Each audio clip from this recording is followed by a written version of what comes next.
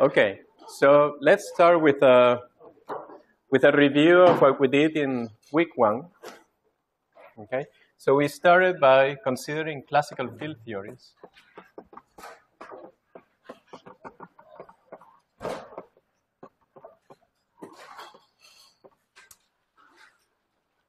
And the basic example that we studied was the Klein-Gordon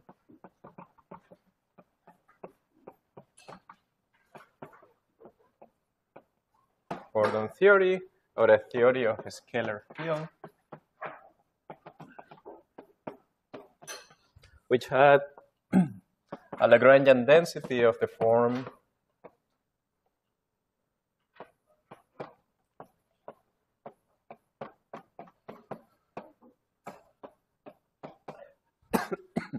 given by this, we solve the Euler-Lagrange equations, and we found a very simple expansion. We basically found, so this was a prototype of what we call a free theory. We were able to solve it completely and up to factors of 2 pi that I'm going to define to be 1 for the time being, um, we found something of this form.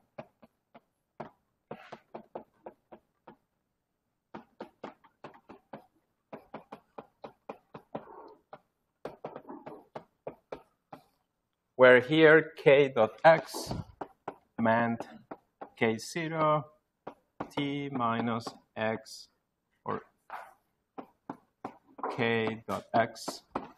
And k0 is also wk, and they are defined to satisfy the relation k squared equals to m squared. Okay, where k squared is a norm, is a four-dimensional norm. Sorry, and this was in the classical field theory. So phi being real imply that this had to be the complex conjugate of this. Okay. Then we moved on and we said we want to quantize this theory. And we did something called canonical quantization.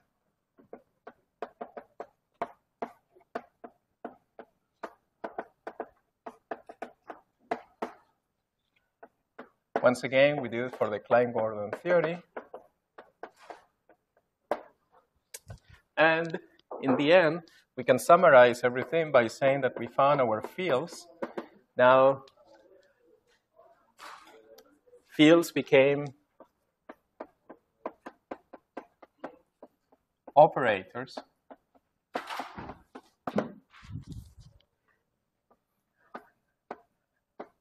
And after a lot of work, we can say that all we did was to really replace. Let me actually do something here.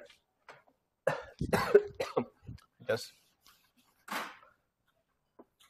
just for fun, I'm going to write the two terms individually.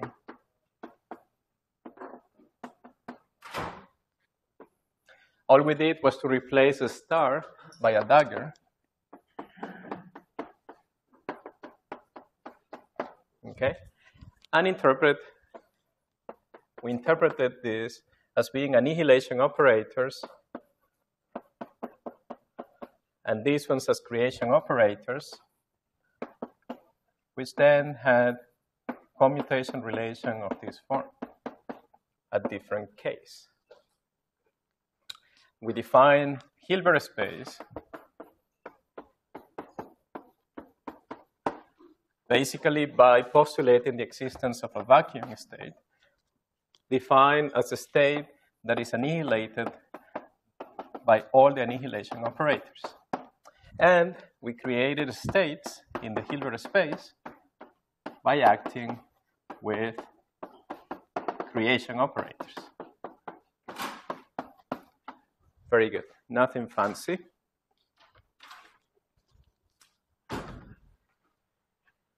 Now, I think we defined them, but don't quite remember. And if, and if we did, we probably, so this is just a matter of notation, but it's convenient to call this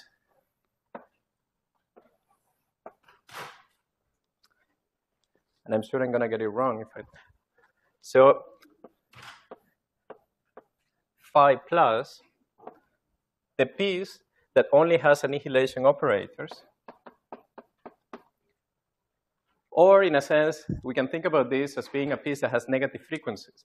So we interpret that as having annihilation operators. And this piece over here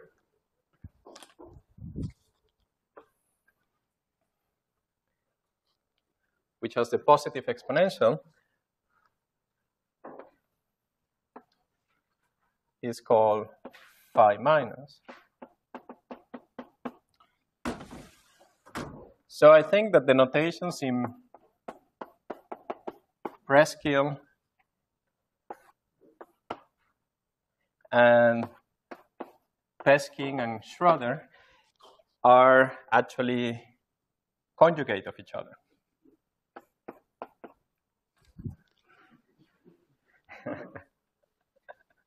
Okay, so, so for today, I think we're going to follow Peskin's notation, which is phi plus and phi minus. Okay, very good. So this equation told us that this theory was basically a theory of so this is a we said that this is a free theory because the commutation relations told us that these are basically a set of the couple harmonic oscillators.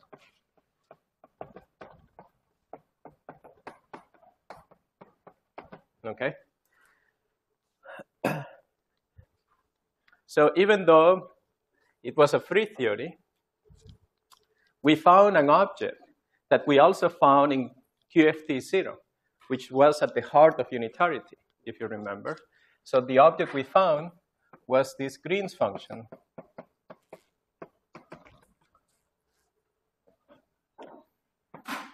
Which you guys had to compute explicitly. Well, it was an optional problem. I hope most of you did it.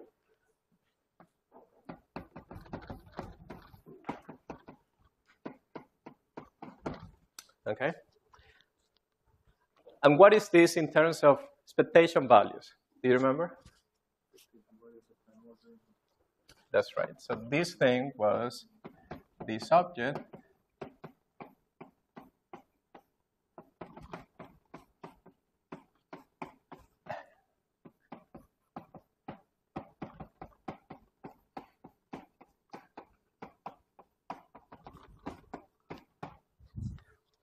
which we decided to give a name to this operator, to the way, to the way of writing things like this.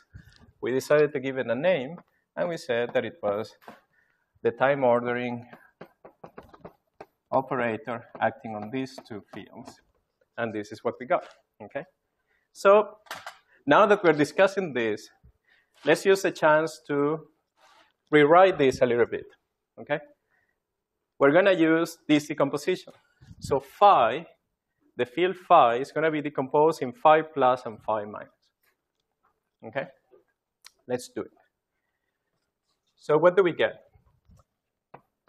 We get that this, which is equal to this, is equal to this. Now we're going to use the decomposition, right? So phi of x is going to be equal to phi plus plus phi minus. But this is acting on the vacuum. So which piece survives? Phi minus. Likewise, here only phi plus survives.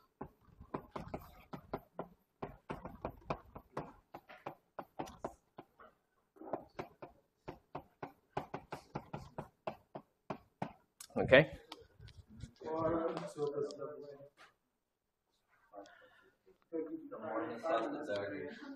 Yes, thank you. Very good. All right. Now we're going to do something a little bit sneaky, but correct, which is that we're going to add zero to this. So I'm going to add the commutator, what I'm missing to produce a commutator of this object, okay? Of course, it's zero because I'm actually gonna get what I wrote before, which was a double zero, okay? So I'm gonna write this as zero, the commutator of this, okay? You all agree that I have done nothing, right? This is identical to this, right? Because the extra piece vanishes identically. Okay. So I'm gonna do the same thing here. And I'm gonna tell you in a second why I'm doing this. The reason is that I hope you all remember that this commutator is just a number. It's not an operator, right? So if it's a number, it's something that can be pulled out of the expectation value, right? Now we can pull out out of the expectation value everything that we have here, right? Because this is a number. So this is a number. This is also a number. So we can pull it out and say, well, this thing is this.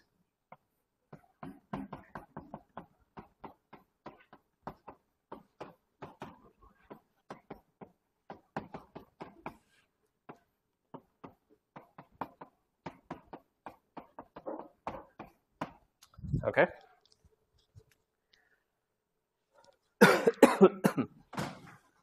So we conclude that our Feynman propagator is also equal to this funny combination of commutators. Now this means, right, that somehow there must be a connection. Well, just as we put it out of the, of the expectation value with the vacuum, we can put it in back. We can put it back in, okay, if we wanted to. So we will conclude that this guy, as an operator, has a piece, which is this thing. So it might be nice to give a name to what this piece is. So there is a piece that we don't know yet, which vanishes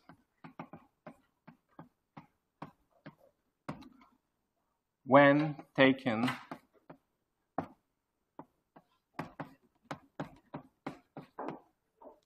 into this, but there is another piece, okay, which is exactly this, okay? And that's our Feynman propagator.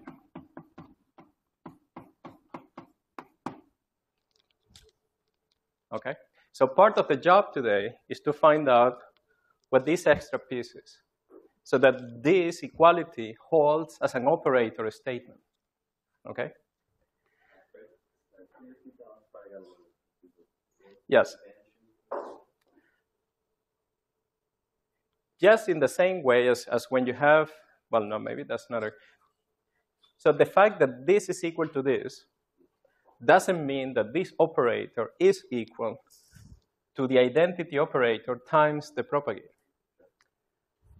The reason is that they can differ by something that vanishes when we take the expectation value with a vacuum.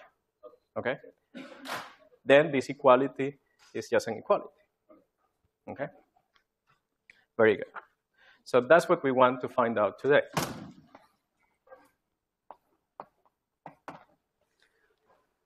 Okay.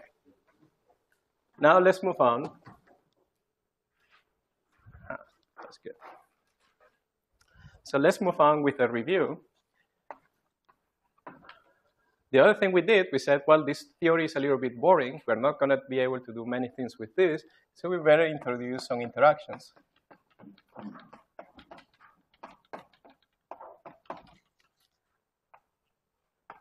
And we said we have to introduce interactions in a controlled manner, otherwise we won't know anything that we're doing. And we said there will be a free Lagrangian plus a Lagrangian that contains interactions.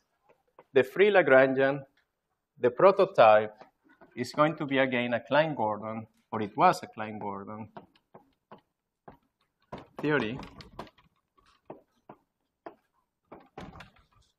And this interaction, since we're in four dimensions, we're going to take it to be as a prototype again. This term. Can you spot any differences between this and the free theory Lagrangian that I wrote down over there?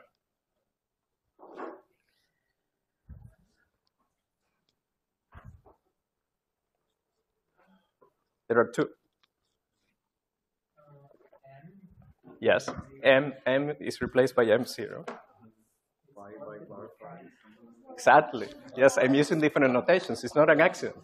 It's not that when I cross this blackboard, I switch to the. it's, it's, actually, it's actually on purpose. So, last week, we spent some time studying the generalization to the interacting theory of the Feynman propagator. So we said, well, we want to consider this object.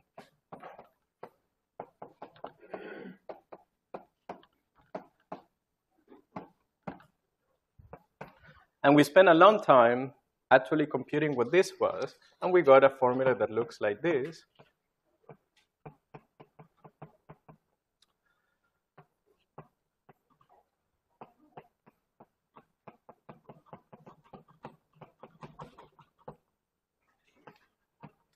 So if we get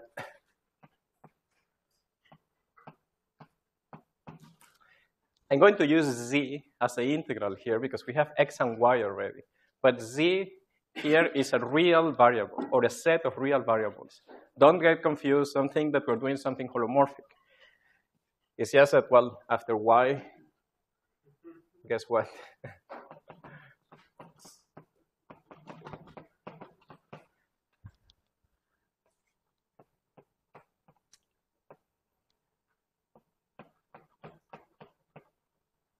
And then we have the exponential of the same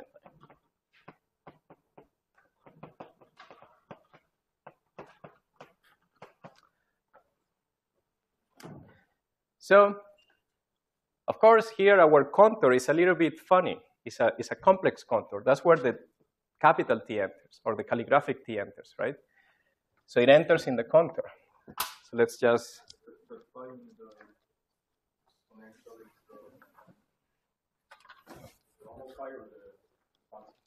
Oh, yes, sorry. Jumping ahead a little bit.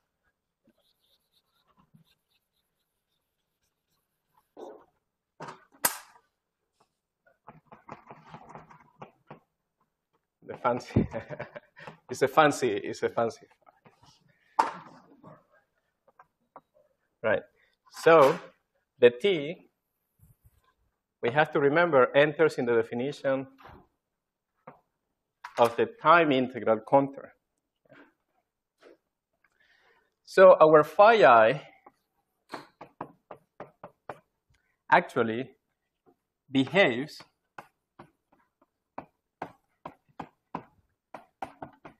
just as a free field. It has the same structure, if you remember. That's what we found. And the vacuum was also modeled to behave as that of a free field. Okay? So, if they behave like that, oh, you know what?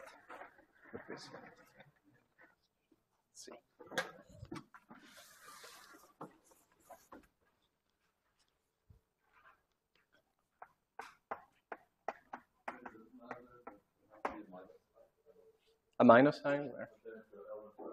No, there is no minus sign. This is correct, right? Because it was minus i h interaction.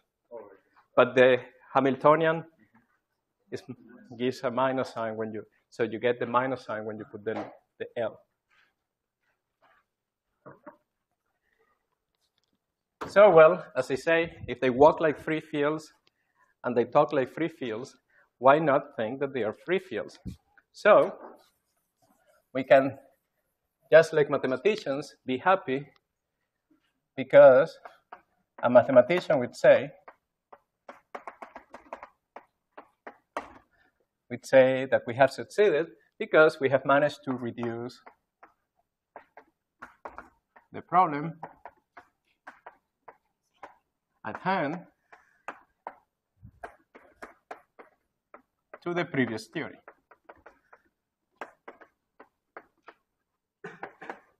Okay? So, yes? Just can you remind us why, what do you mean exactly when you say phi i behaves like a? I'm not going to say it because we have done this. We have moved on.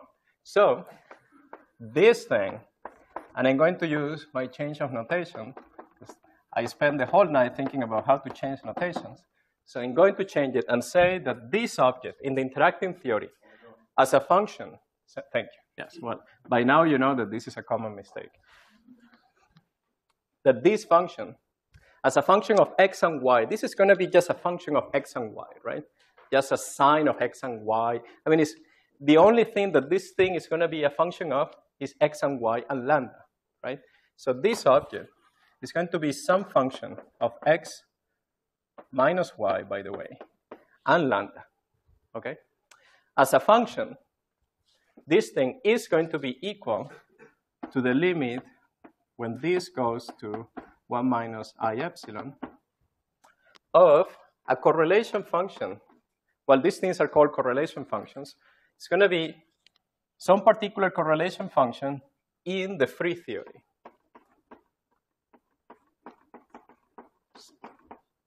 So note that I'm not putting the i any, anymore. I'm using now the notation for the free field. And now I'm going to go back to the particular case that we're considering as the prototype example.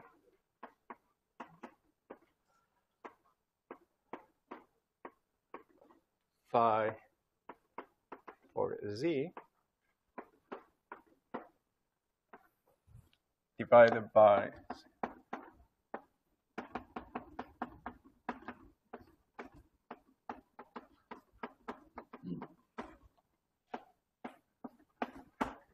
Okay? Now, no signs whatsoever of anything here different from the free vacuum and our free theory. This is an object that we can compute in the free theory. Okay? It so happened that this function of x, y, and lambda, last week, we proved that is identical to this function of, the, of the interacting theory. Okay?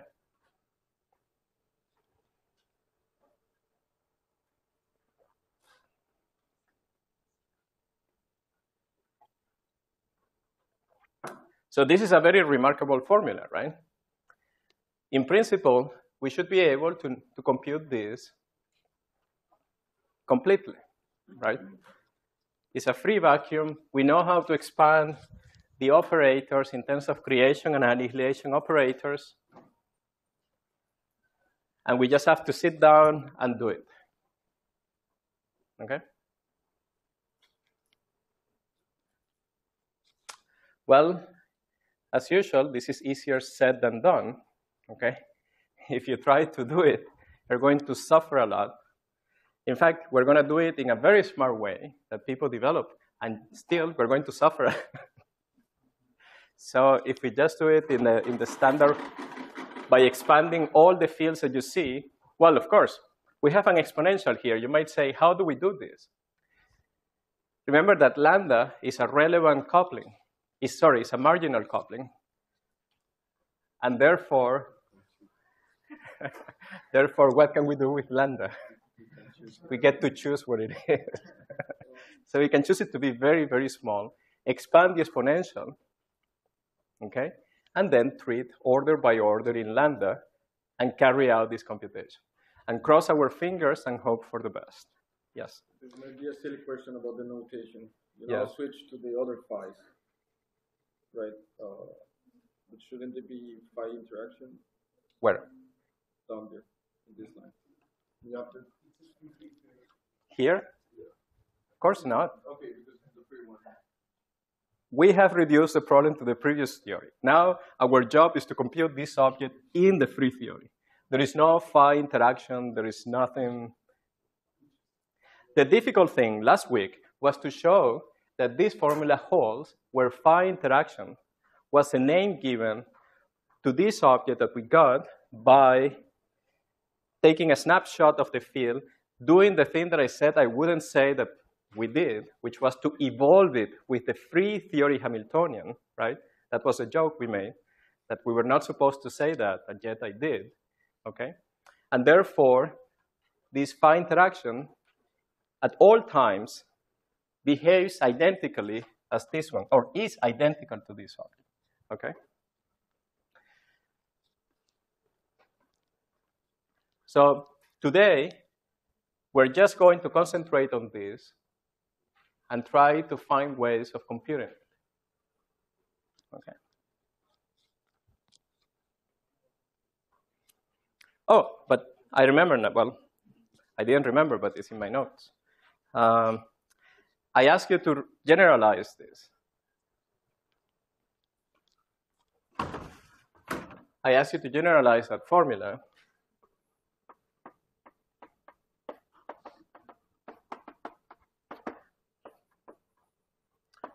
to the case where we have any number of operators inserted inside the time ordering.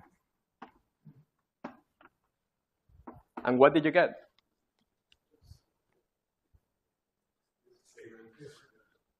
You just got the same thing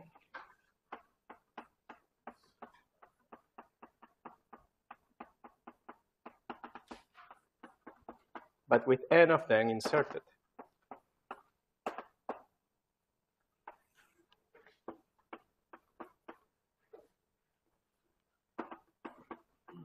Okay?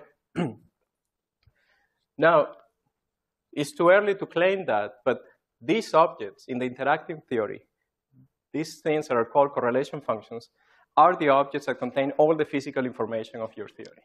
And that's the reason we're going to work and learn how to compute them. Okay? We will then have to do some work to actually extract the physical information. Okay? So we will just have to work a little bit hard to achieve the two goals. Okay? One is to learn how to compute them, and the reason we're going to compute them is that they contain all the physical information, and at this point you have to trust me, basically because, well, this is the only object we know how to compute, so it better be the object that contains all the physical information.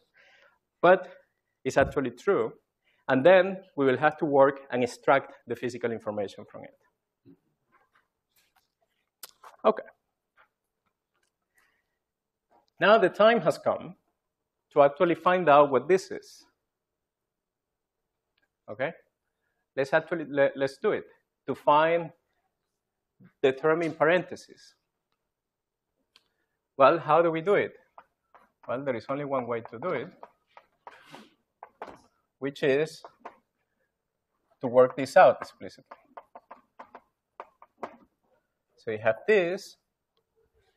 Now the time ordering tells us that this time we're going to have phi of x plus phi of x minus here, phi of y plus phi of minus here times this object here.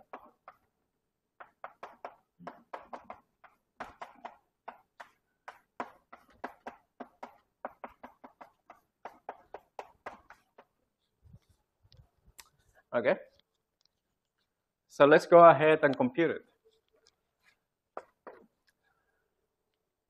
Well, the first thing is that if I want something that vanishes when I put the expectation value with a vacuum, right? I better rearrange these things in such a way that anything that has a creation operator goes to the left, and anything that has an annihilation operators go to the right. Okay? So let's start. This guy with this guy only has what kind of operators? I have to look here. Only has annihilation operators. So I don't have to do, I, I, I don't get to choose. In fact, there is no problem. What happens to these guys? Do they commute or not? Yeah, they commute. They are only creation operators. So I don't get, I don't get to, put, to choose them how to well, I get to choose how to, how to, how to order them. They commute, so that's no problem. Okay? Now this guy with this guy, okay? Is this in a good order or not? In order to get zero when we sandwich. Nope, doesn't look like that. So what do we do? We replace this guy by a commutator. So we are doing this term now. I had the color chalk. We could actually highlight the offending term is, what did we say? This guy, not this guy, with this guy is the offending term. So we can just do this and do this and compensate with a nice one. Now it looks better, right? This thing looks better. The next one would be this with this, but that, that looks pretty good already. And this with this. Once again, we don't get, it doesn't matter the order in which we put it, and that looks nice. Let's do the same thing for the next term. Okay, for the next term, we have, once again, phi plus plus, so no problem. We get phi plus with phi minus. Again, that's bad. This is our offending term, so we have to fix it.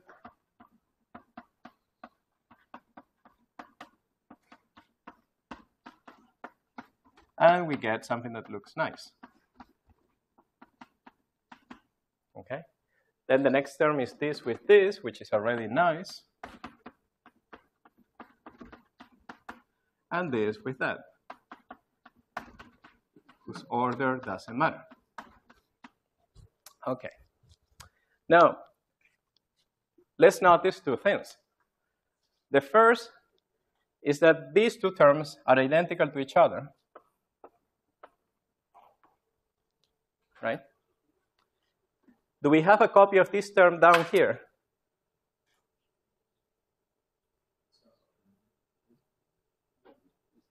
Yeah, it's here. How about this guy? Well, that guy is here. And these guys are here. So isn't that nice? Somehow, the things that we order naturally, they have a natural order, okay, appear on both terms, right? And if you have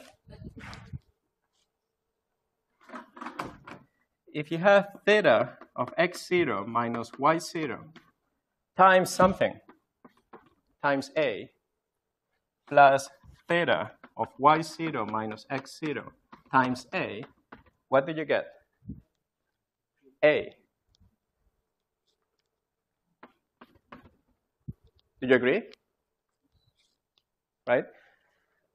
Well, okay, so, so, you might worry about what happens when x0 is equal to y0, but I'm not going to worry okay, so this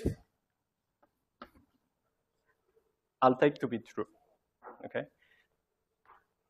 So this is, is this clear to everybody? Okay, very good. Now let's use it. So how do we use it? Well, everything that appears on both loses any information about the fact that we were ordering with respect to time. So we get something that looks like, I'm going to lose all the chalk.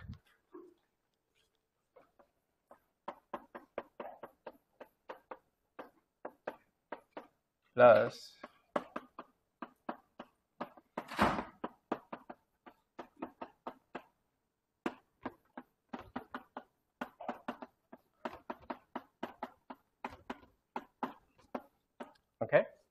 plus this thing times this commutator, right? And this times this commutator. But look at what we have up there. Isn't that nice? The missing terms are exactly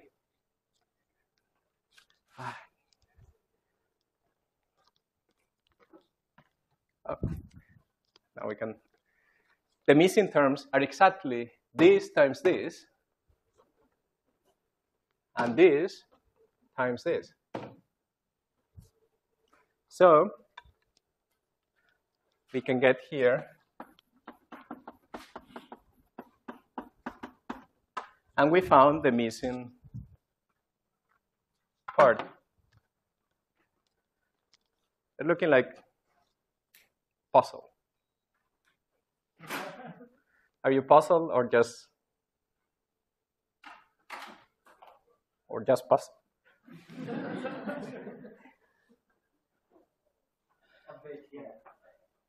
Well, all we did was to find, oh, thank you.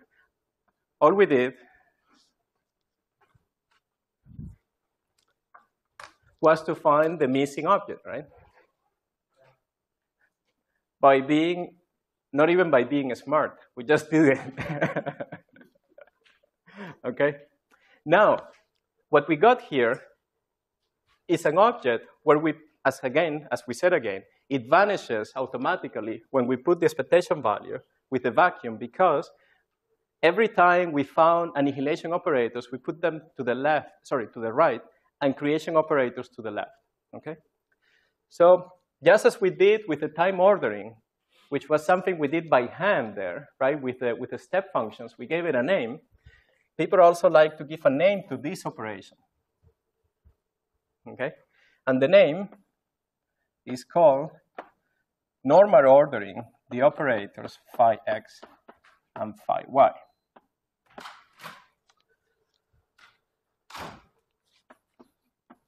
I would have called it natural order, but somebody, somebody invented this before.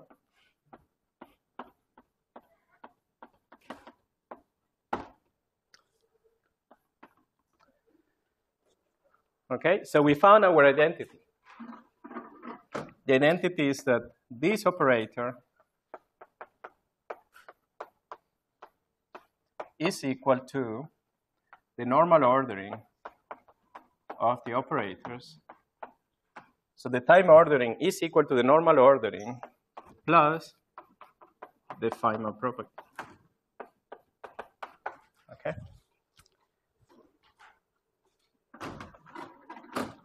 Very good.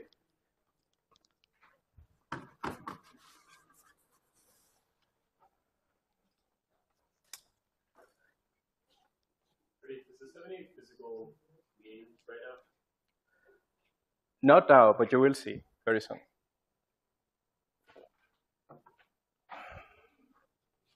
All right. Well, now that we got something nice like this, the natural next step is to keep playing with it and generalize right? So next, we can do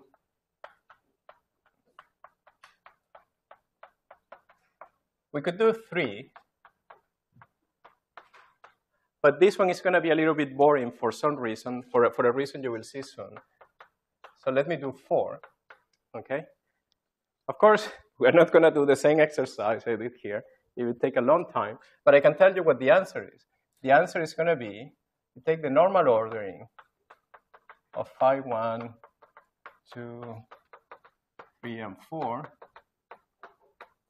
okay? and you add to it, huh. So here is where I should have introduced another piece of notation, which is going to be very useful, okay?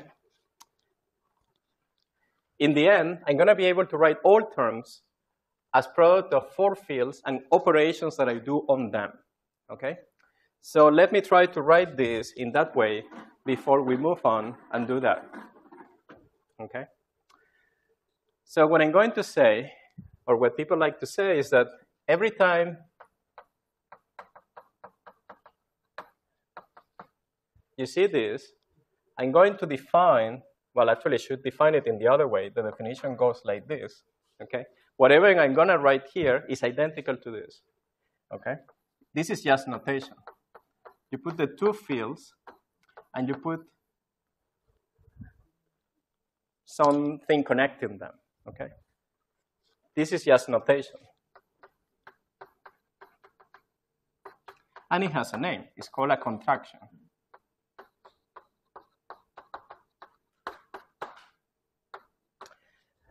And you're going to see right now why this is useful. Because if I didn't have this notation, I couldn't even re- I, I wouldn't even be able to remember what the answer is of mm-hmm. that time ordering. So this is going to be very useful. Okay. So whenever you see this, you are supposed to remove these two operators and replace them by a propagator, by a Feynman propagator. Okay. Okay. So then what is this? Well, this is equal to this normal ordering plus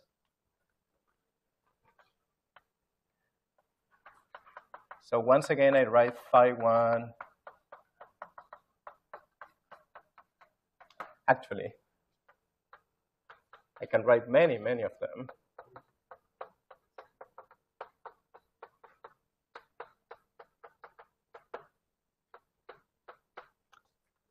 I'm going to write many, many of them. But then what I do is that I have this normal ordering term. Because I'm going to do something to some of them now.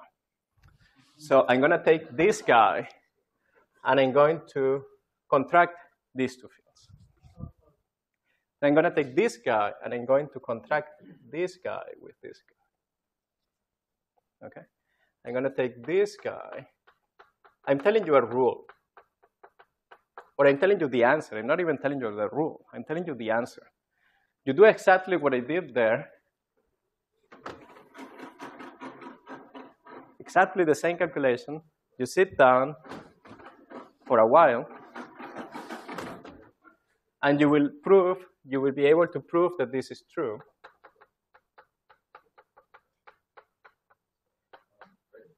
There's six terms? Exactly. There are six terms there. Yes? So we can talk while I write because. Yeah, on the right you have uh, two operators and then this funny symbol, and on the left you just have a number. So should we interpret it as the, the, the identity on the left hand side? Well, the Feynman propagate, yes, well, if you want. Okay, that's what I'm trying to understand. Or, or, or simply the contraction of two operators is a, is a number. It's defined to be that. so, as you guessed correctly, there will be six terms, which are all the possible ways of contracting two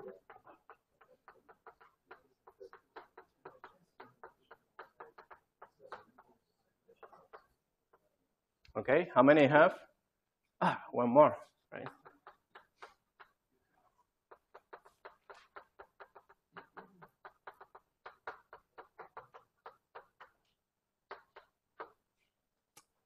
But we're not done.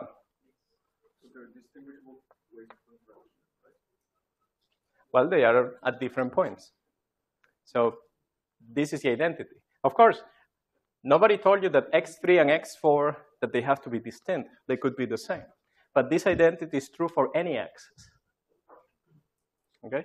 Well, I'm not done yet because what do you think is the next step?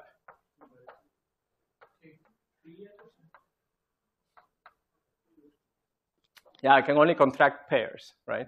So there is one contraction, and now there will be two contractions. How many such contractions are there? Hopefully less than six.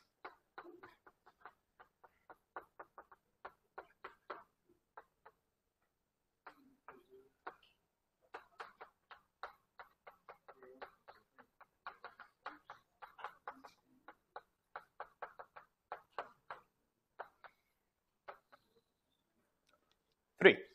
That's nice.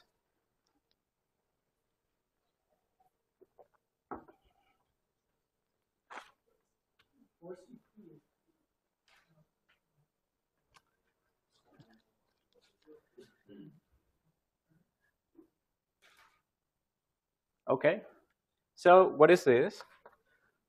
Well, once again, I could write my fields again up to x4, the first term. Now I can pull this out of any operators. This is not an operator, this is a number, right? That number is called Feynman propagator x1 minus x2. Then I have normal ordering of x3 and x4 plus five other terms that are identical, okay? Well, similar to these ones, plus these terms. But these terms are actual numbers times the identity. Yes? So the Feynman propagator is a Green's function, right? Yes. So you keep telling me, saying that the Feynman propagator is a number. Actually, it's a distribution, right? The Feynman propagator? I mean, a Green's function is actually a distribution. So, Well, any function is a distribution. right, but I mean, how, how do you define the product propagators? I, I just can do it as if they were ordinary functions. Yes, they are exactly, they, they, they are literally functions, right? Think about them as functions. There is no problem, okay?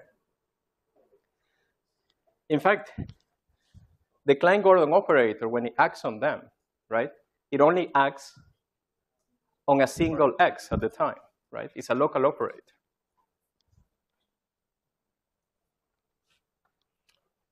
So that would be one term. This would be the next one.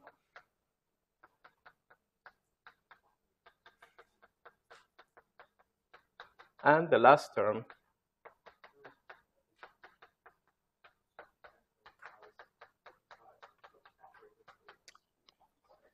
Okay.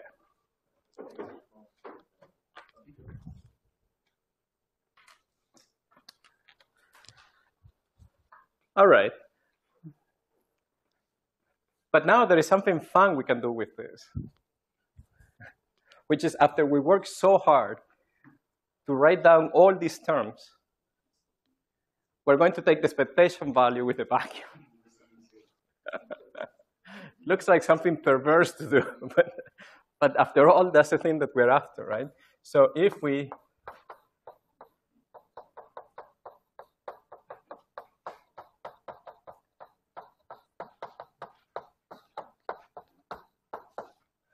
if we take the expectation value, guess what happens? This is zero, zero. All these five terms are zero, and all we get is this. Now, there is something, there is a nice notation for this. In fact, it's the very first example of a Feynman diagram that we're going to see. Instead of writing all this, as you can see, it's taking me a long time, we're going to do the following. We're going to denote this object by the following. We're going to say that there is a point in space-time x and a point in space-time y, and we're connecting them. Okay? So, when you want to be fancy and you want to tell somebody what this is, right? Once again, very nice party conversation. You tell you want to tell somebody what this is, then you can look very smart by saying, well, of course,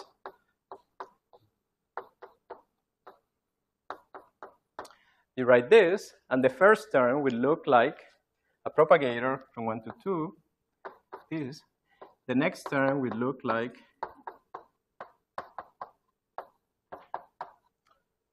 So we go from 1 to 3. And the last term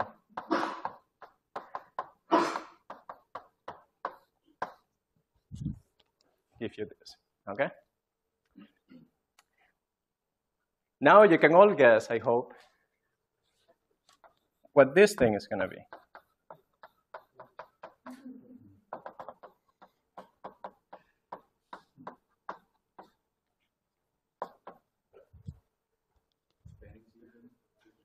Sorry? Very good. N is even.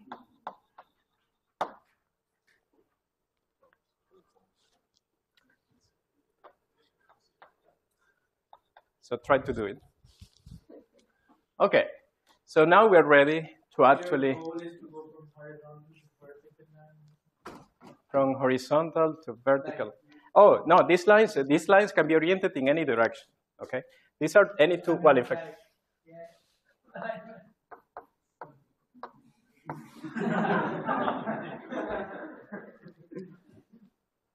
Yeah. sorry.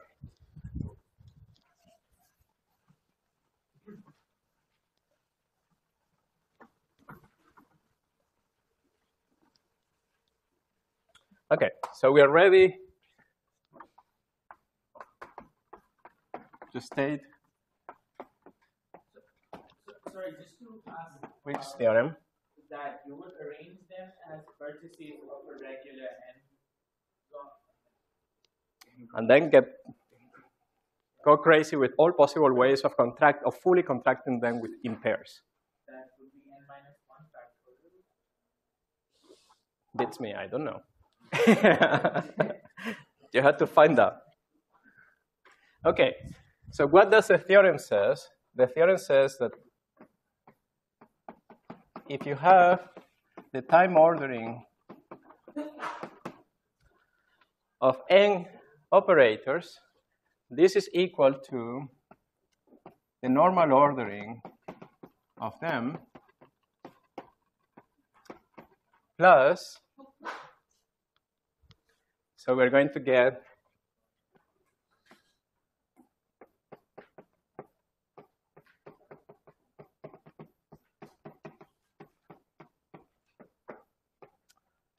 terms like this with one contraction, of which there are n times n minus 1 over 2 minus 1 more terms. Okay, the minus 1 is because I already wrote this one. Okay, this is the total number of terms with one contraction. Okay, plus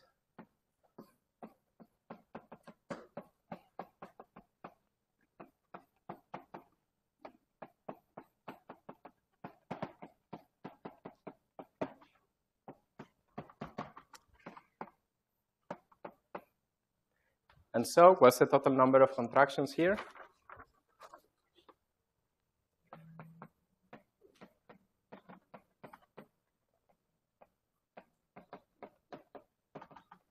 So this is the total number of the first kind of contractions times the left guys and minus one terms.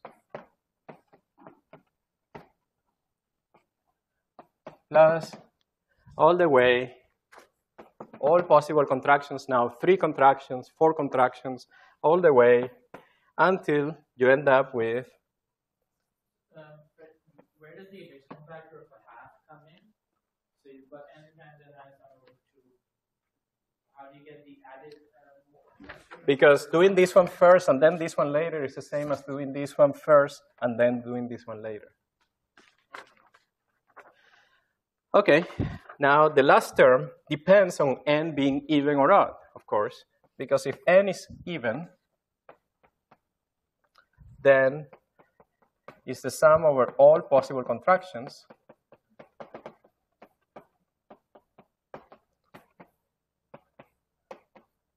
everything is contracted, okay? And the number I'm not going to tell you, that's what you guys are going to find out if you want. And if n is odd, there will be terms. I mean, the last, the last step would be objects where you contract everybody in pairs except for one because it's odd, so there will be one that cannot be contracted. Now you see why I didn't discuss the case with three guys, because if we now take the expectation value, what do we find? Zero. So from here we conclude immediately that this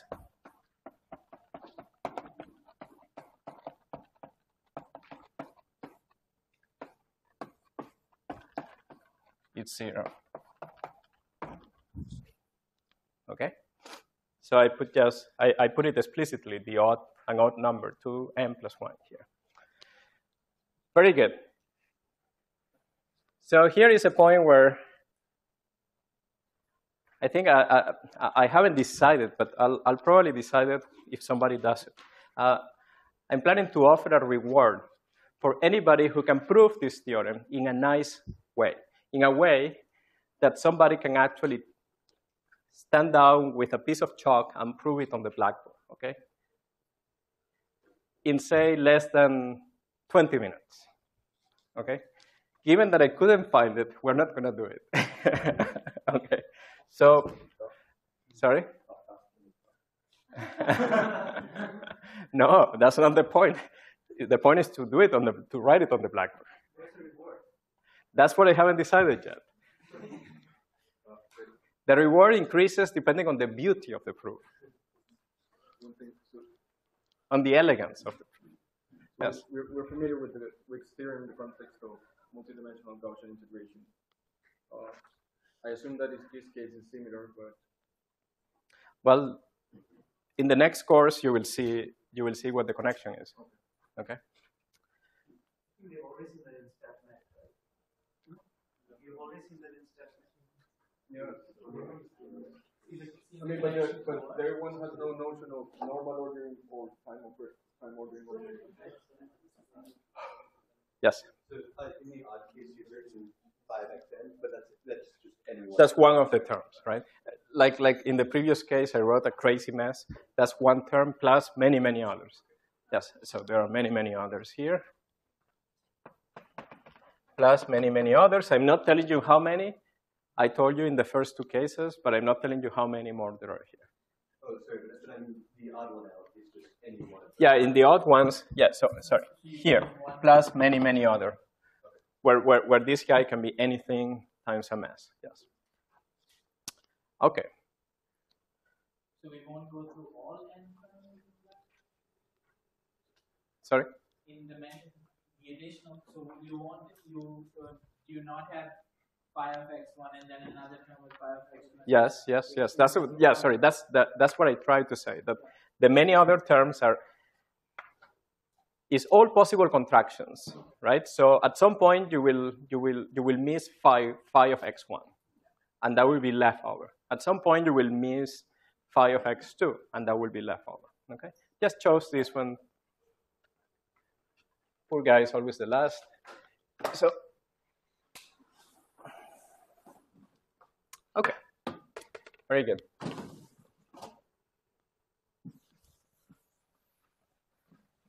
Now that we are experts in computing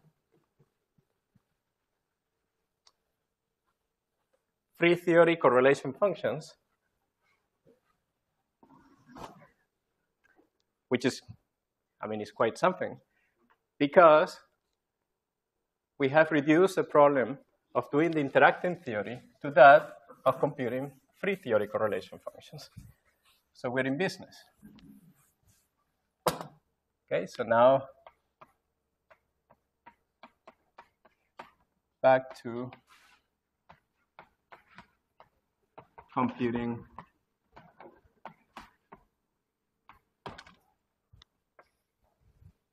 this out.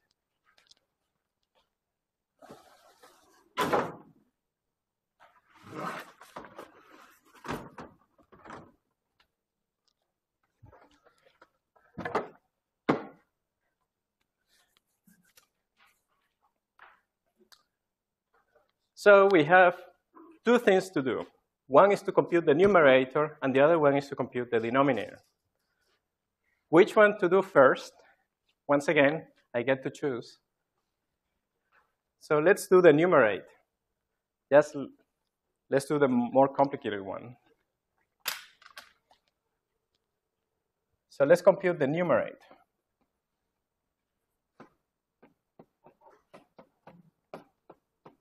Or once again, let's hope for the best. so let's take lambda to be very, very small, and we're going to expand the exponential.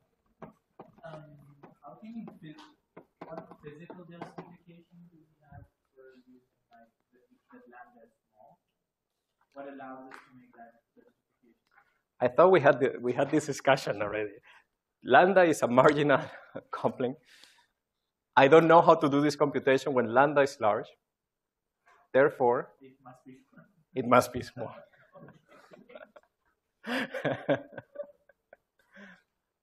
no, of course, in the say when you when you're dealing with uh, with a complex scalar, actually two complex scalars, so that they make a nice object that transforms under an SU2 uh, in the fundamental representation of an SU2 internal symmetry.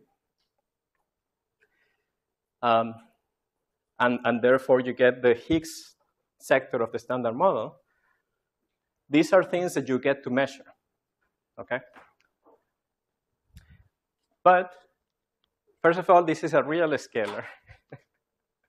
and we have to get somewhere. We have to learn how to deal with these objects and see what they are. So let's work in the, in the case that we can make progress, okay? Okay, so let's do it. We expand the exponential. So what do we get? We get the first term. So I'll compute the first term, you compute the next one. How about that? so this is the first term. The next term is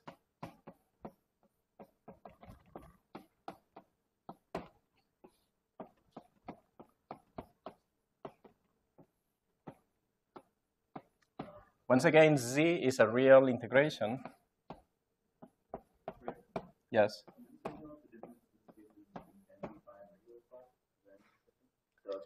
Yeah, our fancy phi is a fully interacting field, right? Our phi i was this fake object, auxiliary object that we got by starting with some field configuration and acting with it with a free theory Hamiltonian which was the wrong thing to do because we wanted really to evolve the state with the full Hamiltonian, but we didn't know how to do it. So we had to do something else. And then we reinvented this whole evolution operator by putting together the full Hamiltonian with the free theory Hamiltonian. And after a whole lecture, we found this identity. But uh, just from, from there to there, is there a difference between the, the maybe From where? Oh, back to this. uh, This is the object we're computing, right? The left-hand side is a fully interacting phi, right? oh That is the real object. I mean, sadly, the one that we don't know how to handle. I mean, we don't know how to deal with it explicitly. So this is correct. It's not a typo. Very good. Okay. Plus order lambda square terms. Okay? I'm expanding the exponential. Is this clear? So let's let, let's just say that we have the exponential there.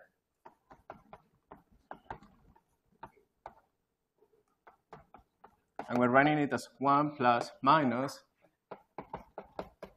4 factorial. And then there will be the next term, right? So we're only keeping the 1 and this guy. The 1 gives rise to this, and the other one gives rise to this. Okay.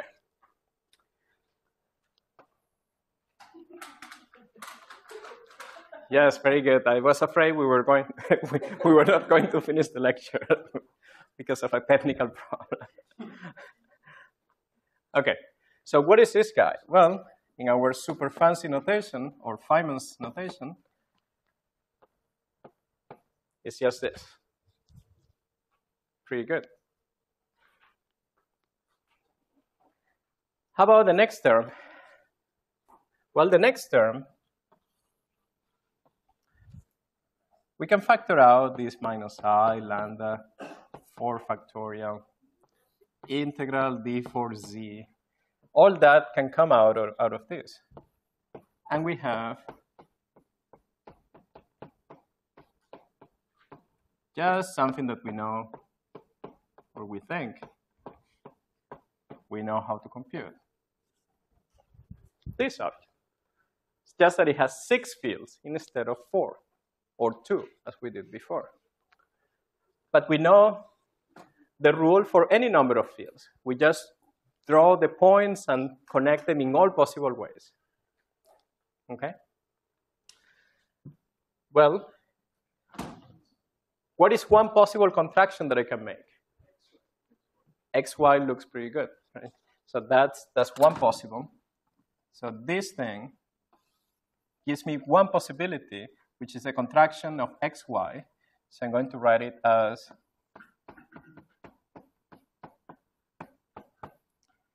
so I have that term times if you wish, I can still put the time ordering of this thing here.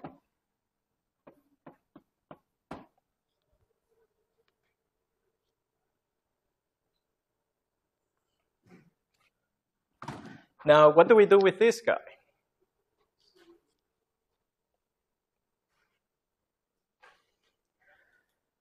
Well, this thing looks like the one we had before over here. Except there is a tiny bit of a problem, which is that all the x's are actually the same. They are z. So I have to put this guy together here, and then this guy together, and put the two things actually together. So all these points have to go to the same point. So this diagram gives rise to, so from here, I get something that looks like z. x1 and x2 must be connected to z. And x4 and x3 happen, they also happen to be z. How about this guy? What does it give me? The same thing. And this guy? Same thing. So we get factor of 3. Sorry?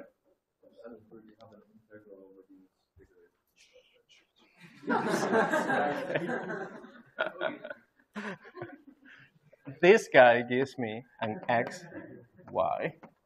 So this all looks very good. So this contribution, this is one contribution.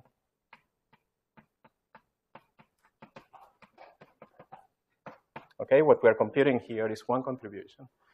Is so let me let me actually do this. Uh, there, there, there is a reason why we're going to do it like this. So I'm going to write this as minus i lambda integral d 4 z. And then I'm going to put this 3 here. We got 3 times this divided by 4 factorial, okay, times what we got, right? So we got delta Feynman propagator times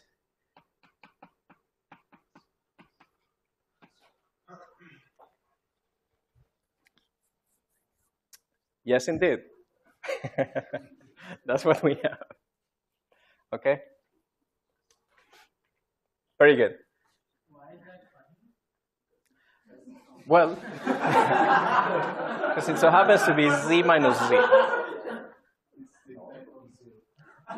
So, so this thing becomes z independent, and we have an integral over the whole space-time.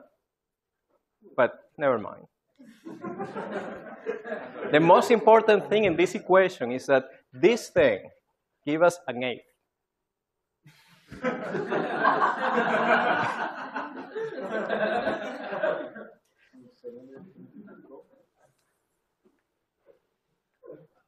ah, you don't believe me?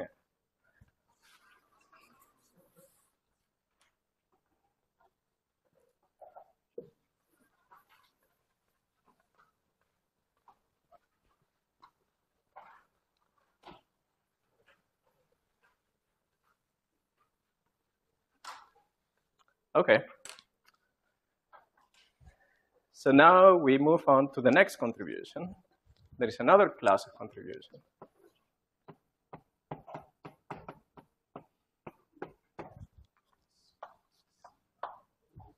So what's the other kind of contribution we can have? Yes, so we can contract x is z and y with another z and two of these guys together, okay?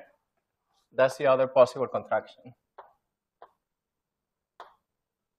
So how do we do, how, how do we write this down? Well, let's actually write, let's write it down as I said.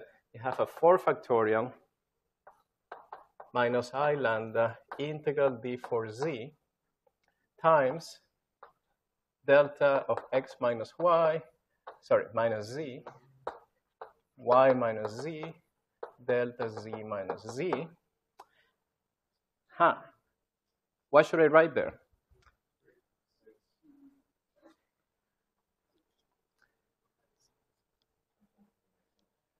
Well, just it's not three and it's not six. Just keep saying something. what? Twelve. Somebody said. Excellent. Why is it twelve? Okay, now you got to you you said it, so you have to explain it. Who said it? you did. Okay, now you have to tell us why it's twelve.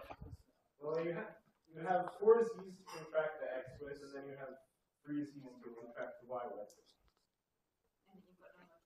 Exactly. Okay, so this 12 is actually 4 times 3. but, as again, just as before, the most important thing about this, yes, is that this is a half. Okay, and we get to draw it. So we get to draw this thing, and we draw it as x goes to z, right? Now from z to y, and there is this funny guy that goes from z to itself.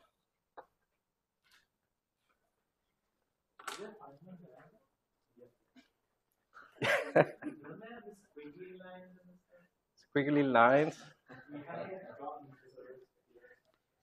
Yeah, no, we're still.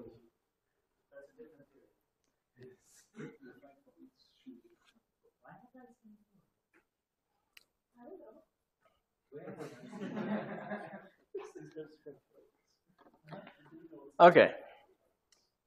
So we have to introduce. So let's actually introduce some, some, some notation to make everything coherent. I said that there were three diagrams like this, right? But by convention, we don't put the three here. We simply say that you put the, the diagram that contributes. And these two objects get to be multiplied. So my symbol for multiplication would just be one guy is next to the other. Okay?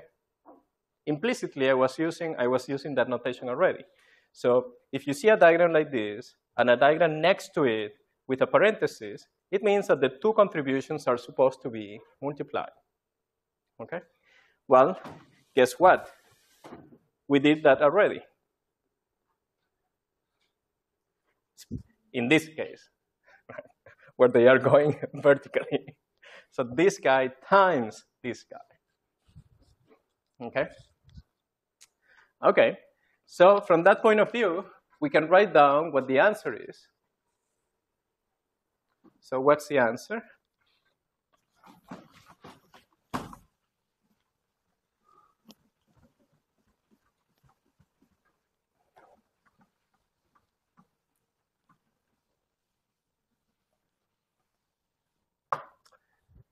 So the answer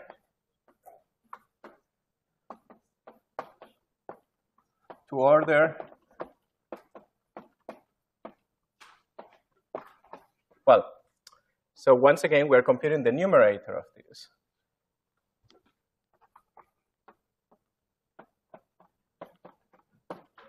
Okay, yeah, I know, I know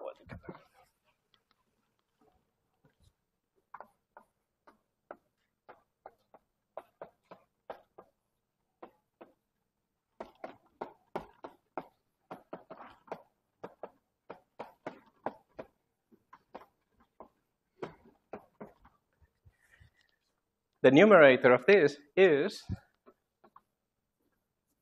given by xy plus xy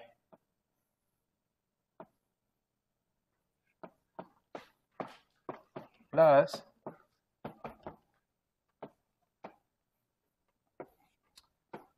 plus order lambda squared.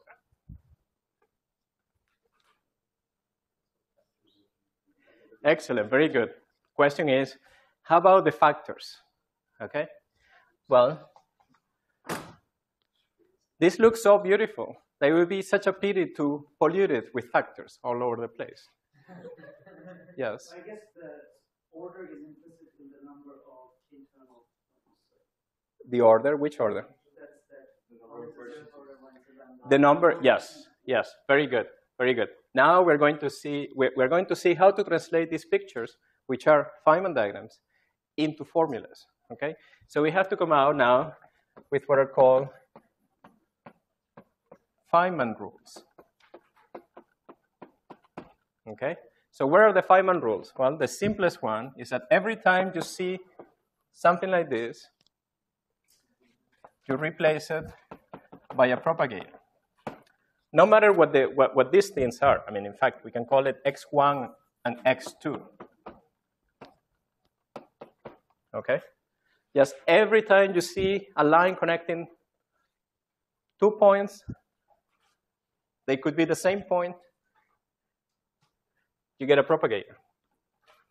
Every time you see something like this, this could be any label, of course, you replace it by minus i lambda integral d 4 z. That's the reason I put it, I mean, it was, it, it was on purpose that I wrote the expressions exactly like that. And last but not least, you have to divide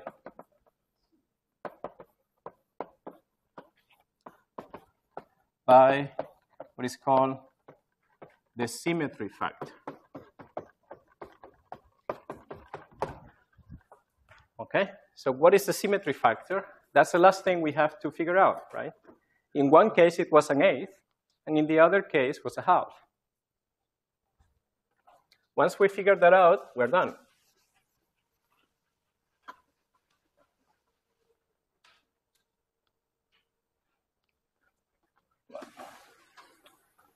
Actually do it here. So you guys never ask, I think, why do we normalize this with a 4 factorial in the first place, the interaction? We had lambda phi to the fourth, to the fourth power, and we put a 4 factorial. In fact, when we wrote down the general interactions, we wrote down phi to the n, and we normalized that with an n factorial. The reason is the following. Let's go back to our phi to the fourth interaction. Let's just concentrate on that, okay? So the reason is that if you have some correlation function and you have a term that looks like this, and it's supposed to be contracted with external points or even internal points, it doesn't matter.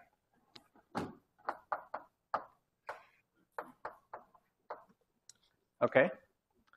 So we are supposed to create diagrams by contracting objects. So these four legs have to go to these four points. How many ways are there to send these four guys into those four points? There are four factorial. And each of them gives the same answer. Okay? So four factorial ways to get the same answer. Okay? So, knowing that this is what's going to happen generically, somebody very smart decided to divide by the 4 factorial already. Okay? So this 4 factorial takes into account this redundancy. There will be 4 factorial ways to do this in general. Okay? But that's in general. Sometimes it doesn't happen.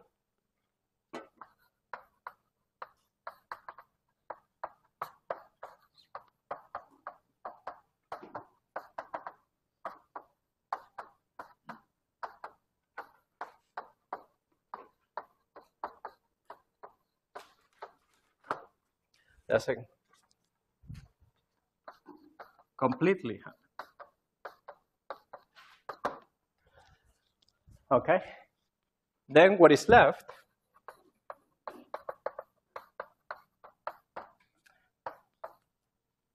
I mean, people call it S or 1 over S, but this S is called the symmetry factor.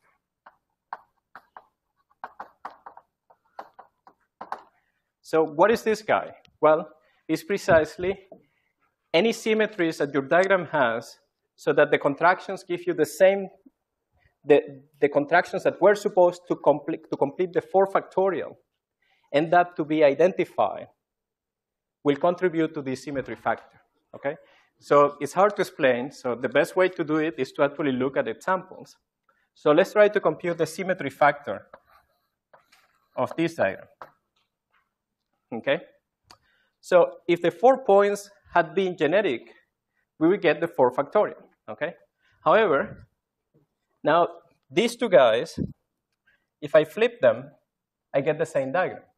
Okay? So I get a factor of 2. If these guys, I flip them, I get the same diagram. So I get, a, I get to lose another factor of 2. And if I send this up and this down, I get the same diagram again. So you get another factor of 2. So the symmetry factor of this diagram happens to be 8. Okay? So that's the rule. So you see that I got this. Applying my Feynman rules, I have this for the interaction vertex, one propagator, two propagators, and the symmetry factor. And I'm done, and I'm done, right? Okay. Who wants to give it a shot at this one? Who wants to explain what the symmetry factor of this guy is?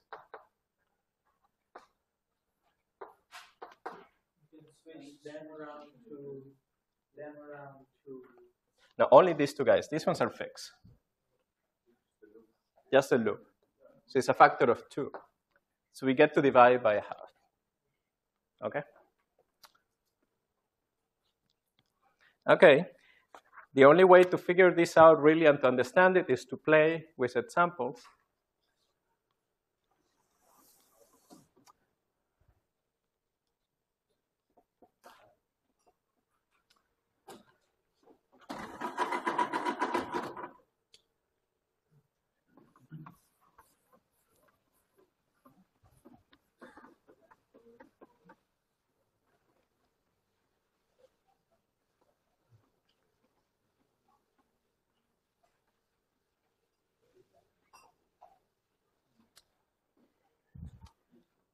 But let's actually write down what the conclusion of today is.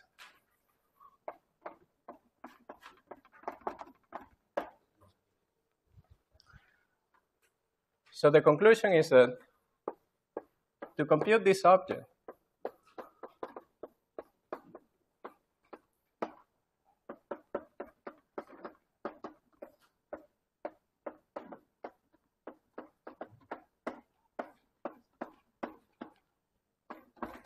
all you have to do is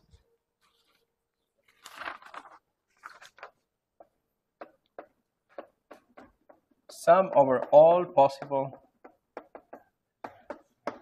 diagrams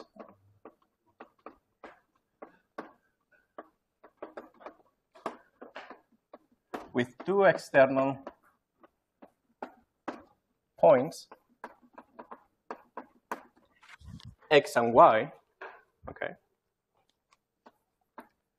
And when you're working at order lambda to the m,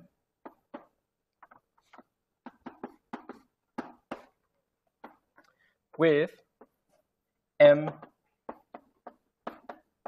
internal points. Okay? Okay, once again, you look puzzled. So let's let's apply let's apply what we just learned. I'm just wondering so the two external points is because of Because we have only two external points. If we had more, we can have we can have more, and we will, then, then we can just change the rules slightly. So let's, let's, get to, let's get to draw diagrams, right? So at order lambda to the zero, we have this one. Already we computed some of this.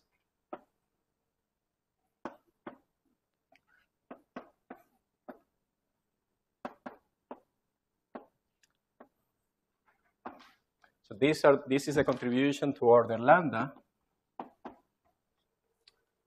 How about lambda squared? Well, just follow the rule. How about this one? That looks fine. To order lambda square, we need two internal vertices. There they are, the propagator with two external points. So that looks very fine. Now we, of course, can have this.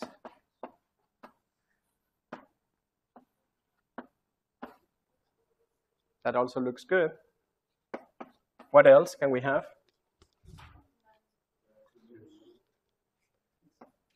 Which one?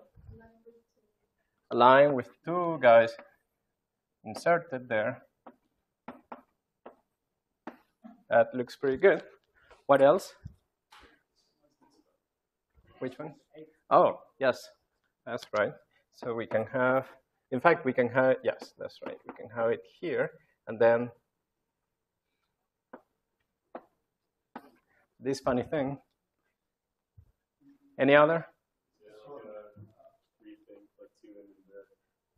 Yes, that's right.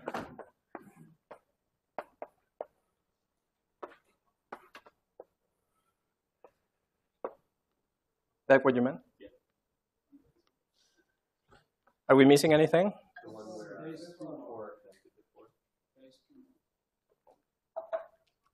four connected to four. Four connected to four. Which one? Something like that. So you want?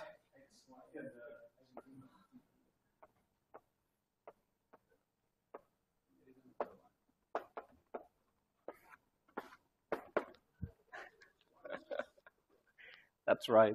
that looks like. Is there one more? Real? Oh, yes.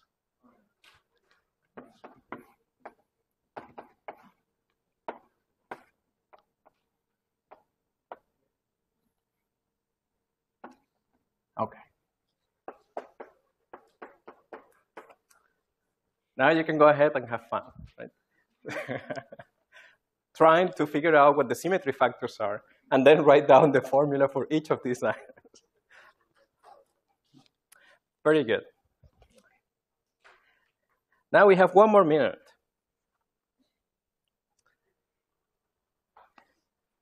Yeah, it's a pity not to do it once we have this, the, the, the, this written down here. It's just a simple observation, really.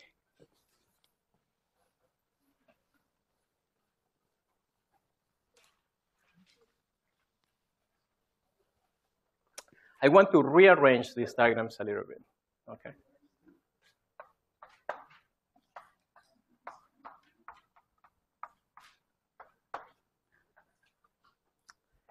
And here, here is how I'm going to do it. I'm going to have xy plus xy plus this guy. Sorry. Plus xy plus you get the sequence here, right? So what I want to do, I want to write all these guys together. So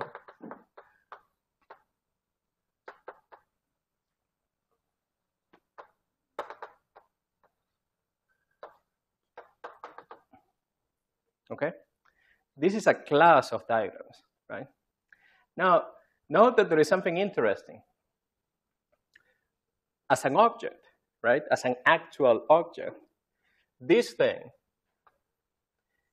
almost looks like this. What we get by doing this times, or this guy times this guy squared is almost that, right? But it fails to be so because there is a symmetry factor. What's a symmetry factor? relative to the, to the answer that I want to get. In general, it's 1 over n factorial. Here is a half. So in general, so if we have n guys, it's going to be 1 over n factorial.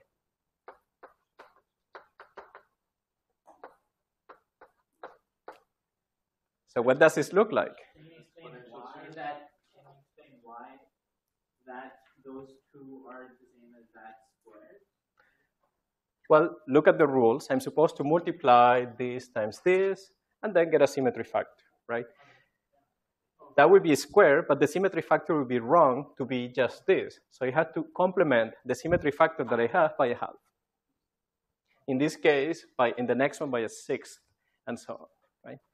Now this looks like an exponential.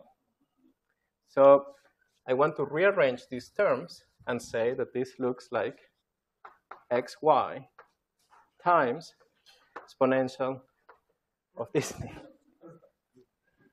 So just resum an infinite number of terms in a snap. Isn't that cool? Now I can do the same thing for these guys. How about that? Why not? I did it for these ones. So we would be this times xy times e to the, oops, this. And then I can keep going, right? Now, these diagrams that are not connected to anything, okay? Diagrams like this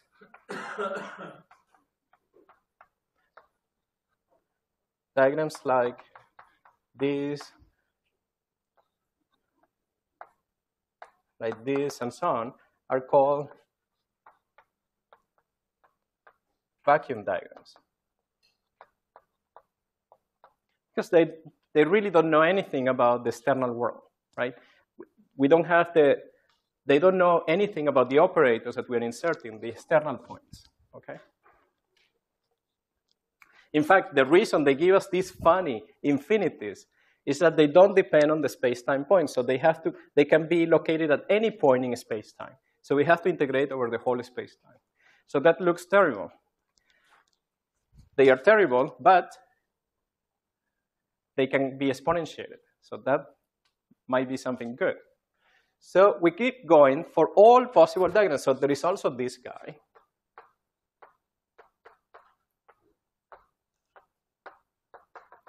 Okay? And now, guess what? What I'm going to do, I'm going to write this as this diagram times the exponential over the sum over all vacuum diagrams.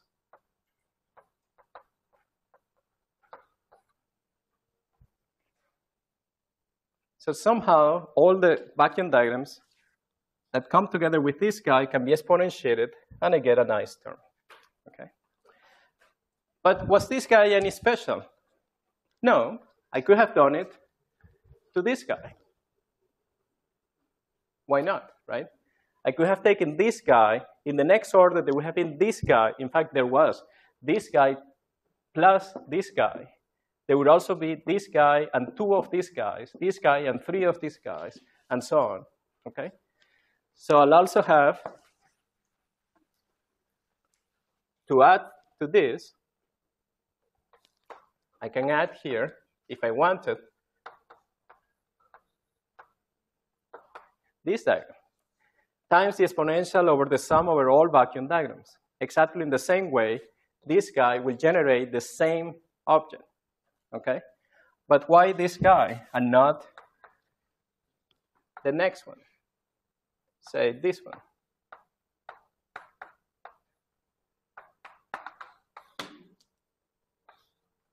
Okay? Well, if that's what we have, we have here that this correlation function has factor very nicely. So there is a beautiful factorization. But isn't, isn't that the sum over the exponential of all the bubbles? Yeah, it's exponential of the sum over all vacuum diagrams. Well, the other way around. Because when you pull out, you get like e to the a plus e to the double a, double a. Yeah, so it's the exponential of this guy. If I expand it, I get the first order would be this guy, the next one would be this guy times a single piece, this times this guy with a half, but this is exactly this, and so on. So this is what I get, right? No, you mean each, each term that is numbered gets multiplied by the sum over all the terms in diagram. I mean, you have it in the first one with the No, no, no, that, shouldn't that. Which sum? The e to the eight it's x, y into the A. Yeah, this thing here is this diagram times, times the sum Oh, sorry. An eight with a double eight and an eight with, uh, with, you know, one with, and a vacuum. yes, yes, yes, sorry, sorry, sorry, yes. Exactly, exactly. There are many, many other terms which I didn't, which I didn't tell you about. Okay, so maybe yeah. So there are many other terms because now, okay, very good. So I wanted to say that this was true, but this is different from this, from what I just wrote, right? There are also cross terms. So you have this times a term that contains a product of these two guys, right? But guess what? Those guys are also there, okay? So try to go through the combinatorics and convince yourselves that precisely these guys will produce the missing diagrams that combine with this guy and only vacuum bubbles or only vacuum diagrams, okay? So collect all vacuum diagrams times the single propagator and convince yourself that this, well, of course, I already convinced you that this was true. This class exponentiates to this, okay? The other class exponentiates to this, but there would also be mixed terms that are needed in order to get this exponential. Yes. So, so when we do the sum, we're summing over all fully connected vacuum diagrams? No, the, the, oh, you mean here? Yes. Yes. I guess when you expand them out, the ones where they're not fully connected are naturally generated. That's right. That's right. So in this sum, yeah, sum over all, okay, fully connected vacuum diagrams. That's what you wanted me to hit, right? That's correct. Okay. So we're almost done with what I want to say because we now can write this numerator, okay, what we have there.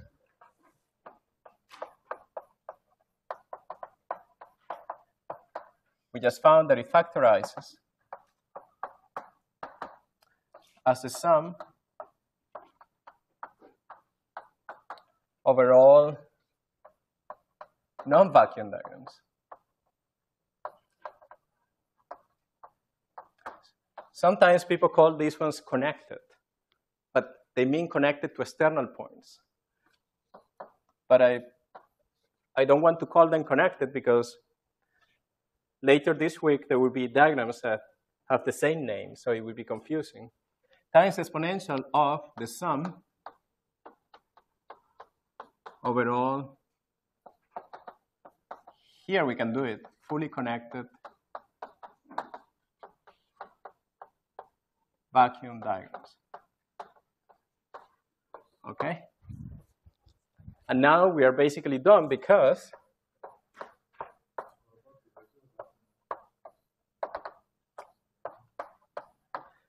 if we look at the denominator of our formula, remember our formula has a numerator and it also has a denominator. The denominator is obtained by removing these two guys. Right? The denominator is the same combinatorics, everything is the same, except that we only get to keep the number one from here. So what do you think this is? Exactly. It's the exponential of the sum over all fully connected vacuum diagrams. And since we are dividing this and this, and we're putting the equal sign, this thing cancels with this, and we find that the final answer is that this object is equal, once again, to the sum over all non-vacuum diagrams. How did the vacuum states change to omega uh, and the phi? how did the omega became this is this is this formula over here. Oh yeah, okay, okay. Sorry. So we just we, we managed to compute the numerator and the denominator. Was it there? This formula really.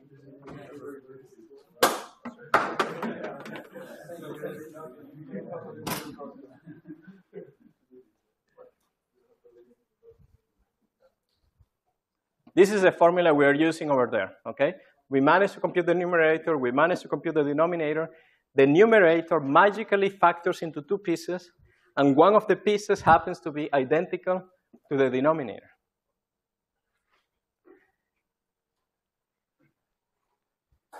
So I think that means that we must be on the right track. Whenever something miraculous like this happens, shows that you are on the right track. When did we get this funny number at? And that will be tomorrow, yes. Yes.